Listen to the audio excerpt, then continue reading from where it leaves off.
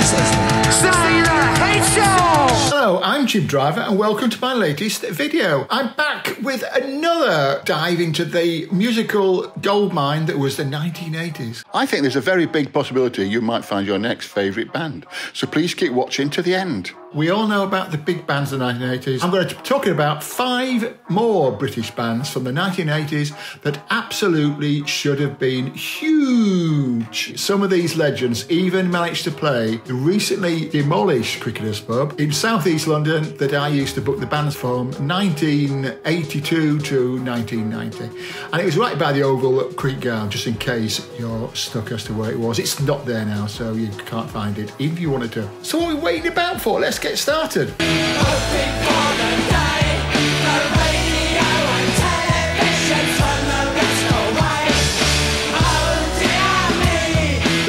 To talk about are the Cardiacs, a band I put on several times at the Cricketers and also upstairs at the Clarendon in the ballroom there, which was like a very nice big ballroom. I think it held about 800 people at Hammersmith. They were doing something you would never ever hear anywhere else. Their live shows were anarchic and theatrical, almost like a surreal circus on acid with frontman Tim Smith as the ringmaster. Tracks like Is This the Life? Is this the life? How do you how do you pronounce that? Is this the life? Is this the life?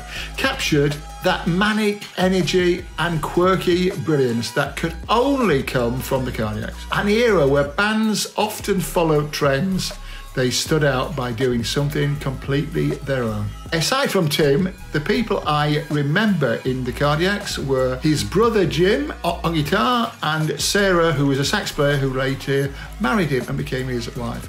Not to mention the manager who was called Mark Walmsley, who was a bit of a character as well. I think he was quite posh actually, but he was an eccentric. The Cardiacs were really a creative entity actually, and he was part of that. And in fact, I'm told he was the one who planted the story in the Sunday Sport tabloid Sunday newspaper about Tim and Sarah being brother and sister, even though they were married. John Peel, for some reason, never gave them a Radio 1 live music session, though they did later go on to Janice Long and I believe Marc Riley. But I remember one gig in the summer of 1992 when Radiohead supported them at a sellout show at the Astoria Theatre in London's West End. But unfortunately, that was the same year when things started to go horribly wrong. First of all, just after the um, show at the Astoria, Rough Trade Records went bust without shipping out any copies of their album Heaven Born and Ever Bright. It was eventually released on their own Alphabet Something Company label, but the impetus had gone. Band members started to leave and often they weren't replaced. And after a while, rather than being a quirky band with keyboards and synths and saxophones and things, it just became a guitar band. Very complicated, very interesting, but it wasn't the same. And I think that's really where things started to change for the band and it started to go on the decline. The real end came, unfortunately, when Tim Smith suffered a cardiac arrest, some might call it ironic, after leaving a My Bloody Valentine show in London in June 2008. And he suffered brain damage from which he never actually recovered. Unfortunately, Tim died in July 2020. RIP Tim Smith. Next, we're going to be talking about Blurt, featuring the irrepressible Ted Milton. Now, Blurt wasn't your typical post punk band. Please let me tell you that I love you!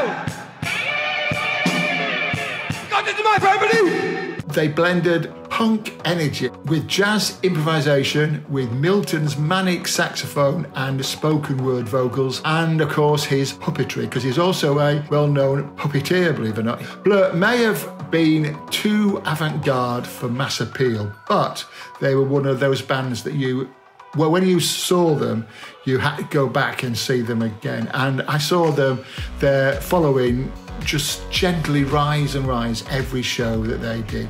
Poet and puppeteer Ted Milton was, and still is, I'm pleased to say, an electrifying performer. Ted was a noted beat poet from the late 1950s, and he was featured in several key anthologies of the 1960s, including Children of Albion. I think it was Penguin who did that.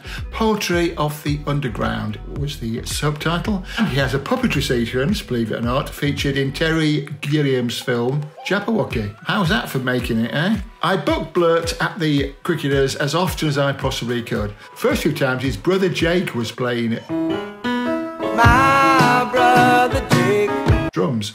And I didn't know at the time that Jake was actually the drummer in Quintessence, a band I saw many, many times in my hippie period. And I think he had long hair then, but with Blurt, he had short hair.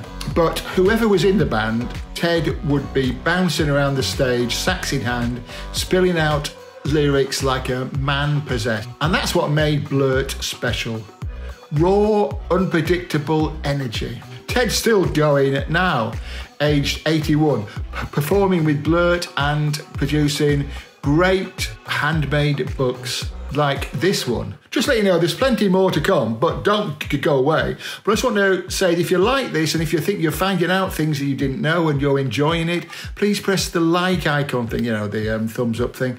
And if you're not already yet subscribed, please subscribe. So if you know anybody who's got great taste, please share this video with them. Now back to the bands.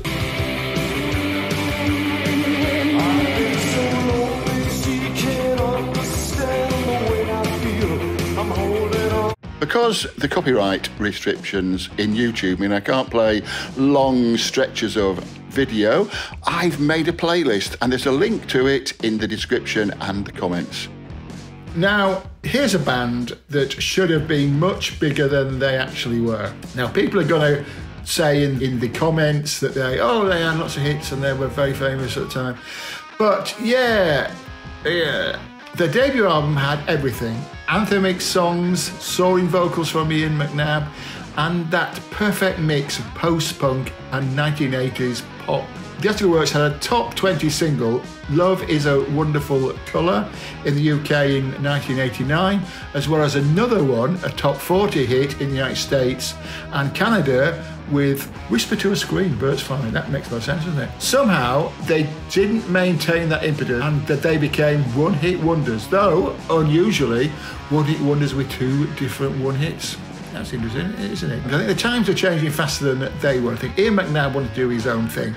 And and although the Icicle Works never played at the Cricketers, a lot of these northern bands didn't really play at London pubs. They preferred to wait until they were like quite big and play larger venues or play somewhere like the Marquee or something like that. But I did encounter Ian McNabb a little later when I worked at Time Out London, the magazine, in the music section. And I was given a CD, well, a big pile of them, called Head Like a Rock was this one, and it was by Ian McNabb. And I and it's still one of my favourite albums now. And I gave it a blinding review. And they were put forward for the Mercury Music Prize. And believe it or not, lost out to M People. God. See, there's no justice in this world.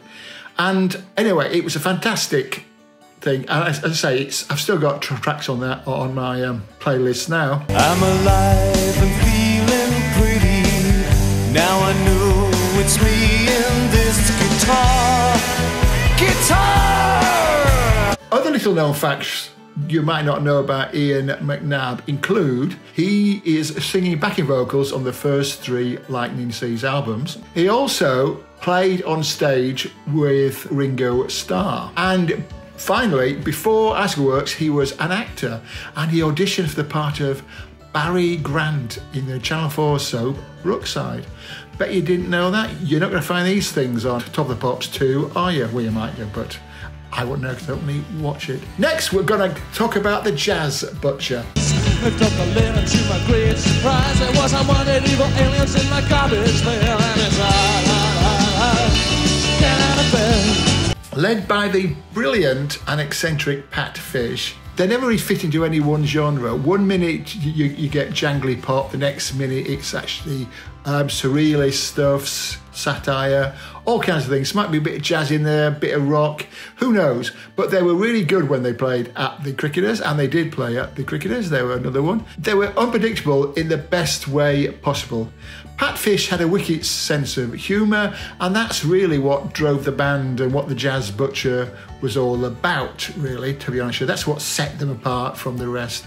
They didn't take themselves too seriously, which I always like that with, with acts, they don't take themselves too seriously. No, I didn't say band then, because I think that when I talk about bands, it's not all bands, is it? There are people who are solo artists.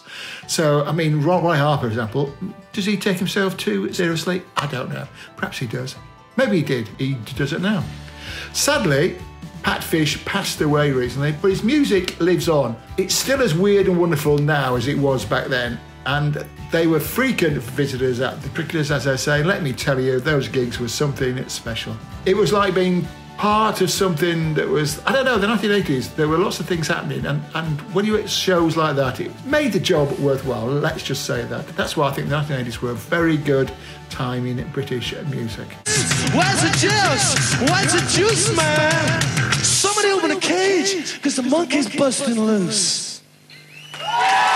Now we're talking about the Screaming Blue Messiahs. Now, the Screaming Blue Messiahs, I knew two members of the band before I knew of the band, basically. I knew Kenny Harris, the drummer, probably through the men they couldn't hang. And we did a few things together. One of them was I got, because he's quite a big chap, big uh, Scotsman, and I got quite a few big chaps that I knew to help me do security at punk gigs because I used to be asked to do security at punk gigs. And I found that if you just had like a load of people who were slightly older than the people who were causing trouble, they didn't get any sort of hassle. And Kenny was one of those. Though, as they kept saying that they're not really fighters. And I knew Chris Thompson, who's the bass player, from when I drank in Putney, and I think I see him in the White Lion and in the Half Moon Putney. I must have known Bill because he was in a band with, I think, Kenny, was it? Or was it Chris? I, I, can't remember now. But Bill and one of them was in a band called Motor Boys Motor with a guy called Tony, who was the lead singer. I mean, when they turned up, they go, hello, how you doing? And they were oh,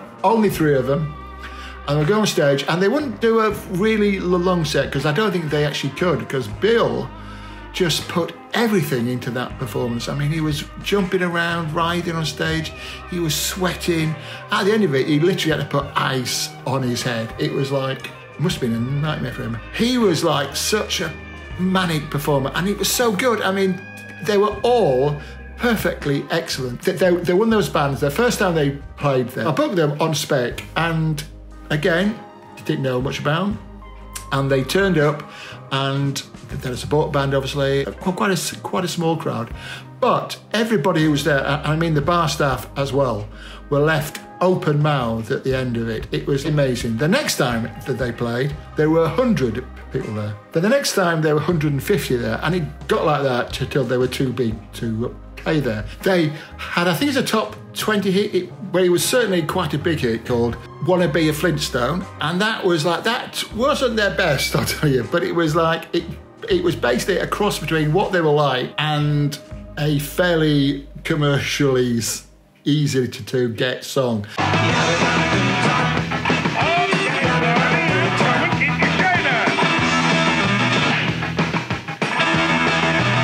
reason, I think it must have to do with their management, I don't know. They would come back. Now, bearing in mind that Bill used to put all this into the shows and they'd come back and they'd be broke. I know Chris, I think he was a painter or a plasterer or something. He had to come back and do and get jobs painting or plastering.